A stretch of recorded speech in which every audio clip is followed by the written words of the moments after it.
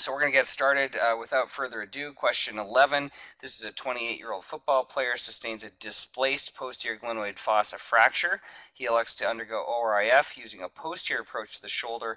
What intramuscular interval should be used to expose the posterior glenoid? Uh, and the answer is the teres minor and infraspinatus. Uh, and you can see the uh, description there. We don't need to go through that. We'll show some uh, nice pictures of the uh, posterior approach coming up. So we're going to cover the approaches to the shoulder. So obviously the deltopectoral approach is going to be the workhorse for probably 95% of most shoulder surgery. The anterolateral approach uh, is sometimes used, for example, in greater tuberosity fractures. Uh, the lateral deltoid splitting approach uh, can be used um, as so-called McKenzie approach or an anterosuperior approach uh, for reverse total shoulder arthroplasty especially if there's um, been prior deltoid problems, a posterior approach, which is what we just had the question about, and then the Judet approach, which is what I'm going to use for uh, higher complex uh, uh, scapular, scapular body and displaced uh, uh, intraarticular glenoid fractures.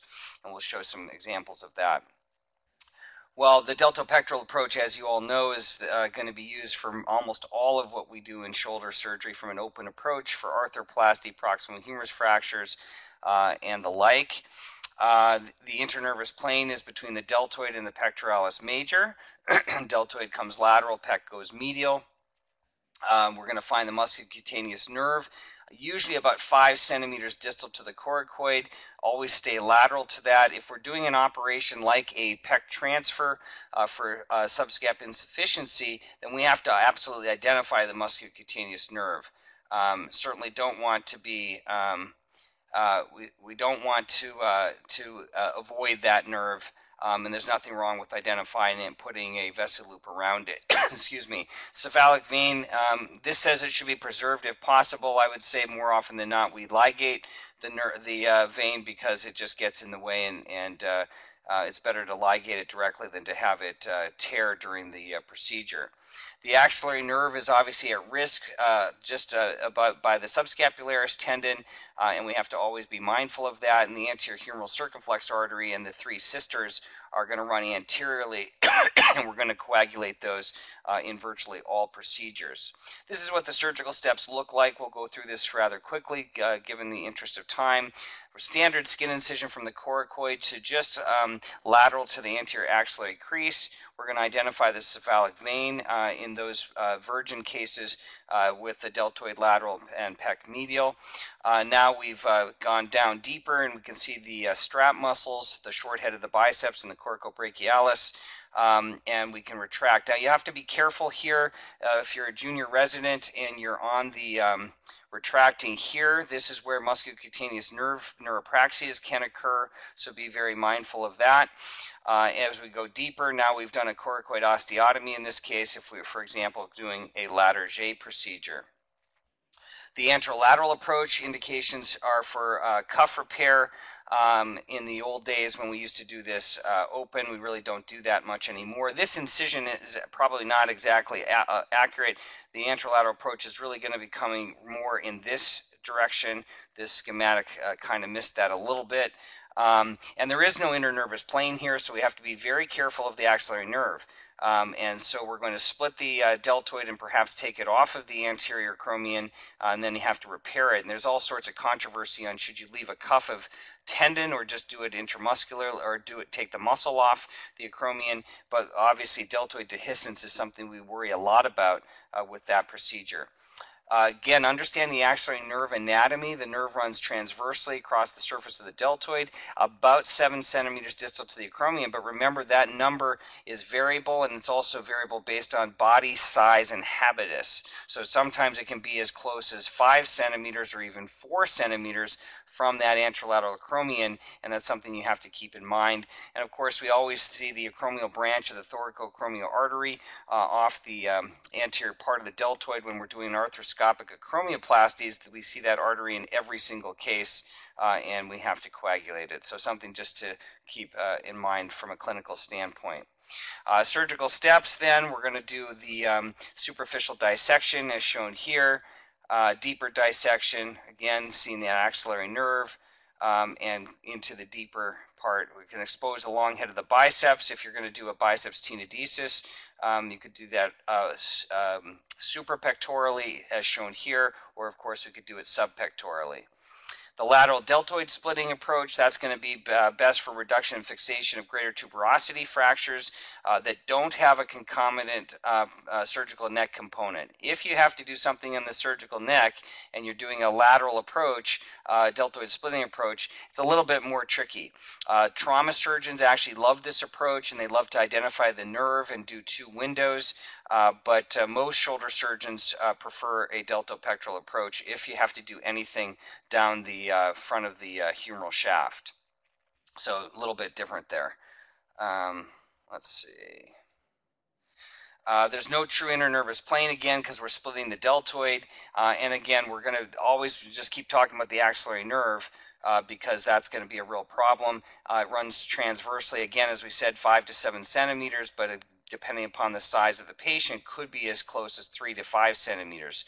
So don't take that for granted. And as I said earlier, the trauma surgeons like to make a second window if they're doing a indirect reduction and uh, ORIF uh, with a plate. Uh, but for most of us, I think we prefer a deltopectoral approach uh, for um, uh, for most proximal humerus fractures. Um, and we're limited distally because, again, the axillary nerve and the deltoid has been split in line of its fibers. And um, there's not really a great option for extension, as we mentioned. Posteriorly, we're not going to be there as much um, as we are on the anterior side, uh, but for proximal humerus fracture dislocations and, and, of course glenoid fractures and osteotomies, uh, that'll be the most likely um, indication and scapular fractures. And for me, that's going to be the most likely reason that I'm doing an open approach uh, from a posterior side. The internervous plane is between the teres minor and the infraspinatus, uh, as shown here. The axillary nerve, again, running through the quadrangular space beneath the teres minor. So it's important to understand uh, and not get lost posteriorly between the infra and the teres and inadvertently uh, uh, injure the axillary nerve. And of course, we're being mindful of the posterior circumflex humeral artery uh, coming along with that. Uh, so you can make your incision in a lot of different directions. Uh, here we're showing it uh, in a transverse plane. Often I'll make a incision longitudinally along the glenohumeral joint if it's just a straight posterior glenoid fracture or a, posterior, uh, a glenoid osteotomy or a posterior glenoid bone block type procedure. Uh, so probably in most of those cases make more of this longitudinal incision in uh, Langer's lines. Um, here we're showing the, the transverse incision. Here's a superficial dissection. Uh, here we can start to see the deltoid, which has now been retracted, showing us the uh, infraspinatus. Remember, the infraspinatus is a bipennate muscle, so that can be very helpful between the infraspinatus and the teres minor. And don't get lost here because this is where you might uh, run into the axillary nerve. Uh, that by now retracting the infraspinatus out of the way, uh, either by taking it off, uh, usually with a cuff of tissue, similar to what we do with the subscap.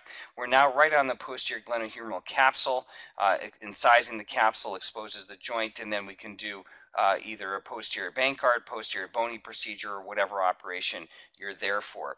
So although we're not there as much posteriorly, it's actually not a difficult approach. You should practice in a cadaver if you've never done this, but you'll find that it's actually fairly straightforward. It's just not something you're as comfortable and familiar with as the anterior approach and there you see the uh, deep dissection.